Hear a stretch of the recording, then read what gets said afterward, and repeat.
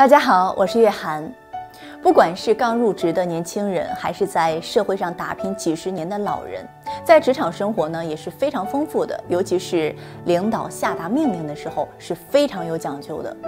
有的时候，领导看似没有分量的一句话，也有可能成为陷阱。那今天呢，月涵就和大家分享三句话，领导常用的套路话。第一句是这件事你尽管放手。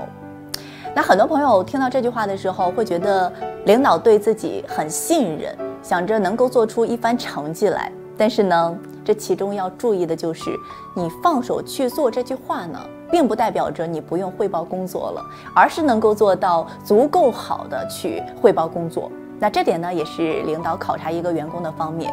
毕竟每一个领导都是有掌控欲的。那第二句话呢，是你做多少，我都是看在眼里的。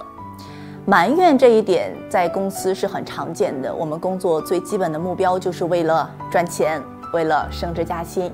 如果我们干了很多，领导还不知道的话，肯定是心里不舒服的。那这句话呢，对一些连续加班的朋友们肯定是有感触的。自己连续干了这么多天，听到领导的这一句话，一下子就能够消去很多的怨言，会在心里默默的想：啊，领导都是看在眼里的，我还要继续努力。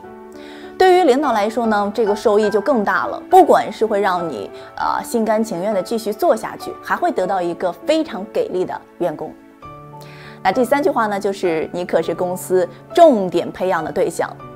这句话领导也是非常爱说的，目的呢是和上句话是差不多的，就是想让员工拼命的去干活，还不抱怨。尤其是当一些烫手山芋没有人接手的时候，这个时候就会让你接手去做。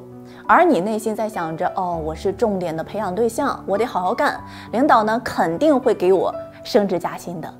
那领导呢是听在耳里，乐在心里。今天月涵和大家分享的领导的这三句话呢，看似是诚意满满，但是呢，保不齐会有领导打着歪心思。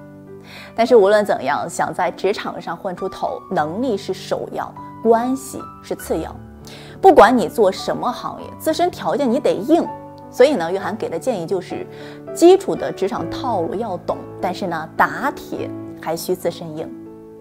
好了，今天的分享内容呢，到这儿就结束了。欢迎大家关注、转发、收藏，我们下一期再见。